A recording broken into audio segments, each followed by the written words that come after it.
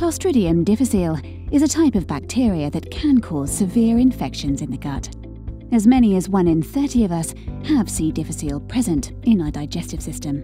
In those with a healthy gut, it can live harmlessly because the overall population of microbes, known as the microbiota, keep it under control. But if the balance of your microbiota has been damaged, maybe after a routine course of broad spectrum antibiotics, then C. difficile bacteria can multiply rapidly and produce toxins that make you ill.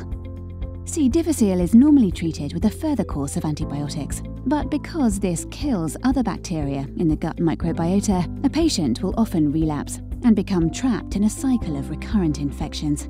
Eventually, antibiotics will stop working altogether. This can have fatal consequences. Of the 15,000 cases of C. difficile infection that are reported in the UK each year, 1,600 will lead to death.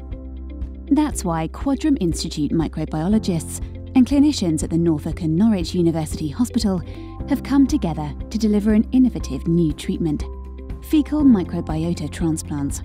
The transplants involve transferring microbiota from healthy donors into patients with C. difficile infection. The patient receives a whole new, healthier microbiota, leading to immediate benefits.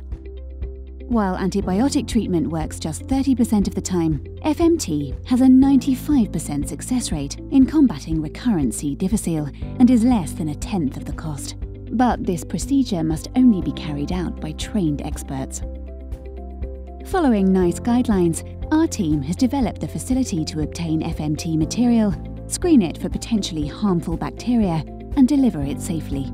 In the future, we hope to develop FMT to treat other conditions related to the microbiota, such as ulcerative colitis and diabetes.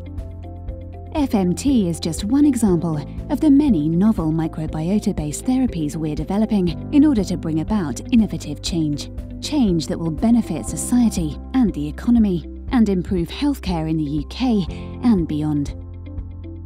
The Quadram Institute is at the heart of the Norwich Research Park, looking at the impact of diet and microbes on healthy ageing.